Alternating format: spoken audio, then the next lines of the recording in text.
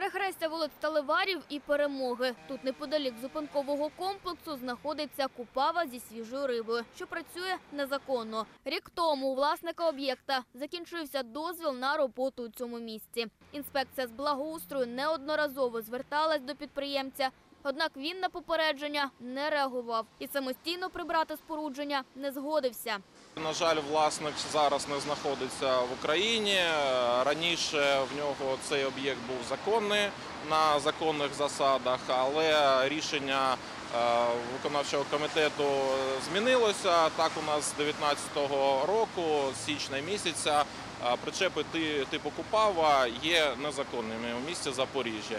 Тому власнику було направлено неодноразово листи щодо добровільного демонтажу. Також обклеювалося е, це, цей причеп е, об'явами, але, на жаль, власник не виходить на контакт. Тепер купаву демонтують. Для цього підрядники обрізали гілля, що заважало техніці зачепити об'єкт. Згодом і сам мав підіймають у повітря.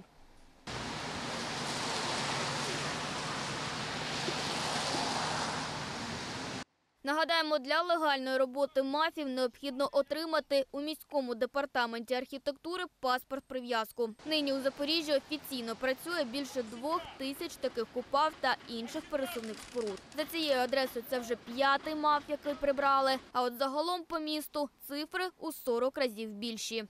Це вже близько 200 споруд, які були демонтовані на території міста Запоріжжя згідно рішень виконавчого комітету про усунення наслідків порушення правил благоустрою міста. Дана робота в нас не закінчується, незважаючи на не досить сприятливі погодні умови. Ми сподіваємося, що ще і цей місяць, і наступний місяць багато тимчасових споруд і незаконних мафів буде демонтовано на території міста Запоріжжя.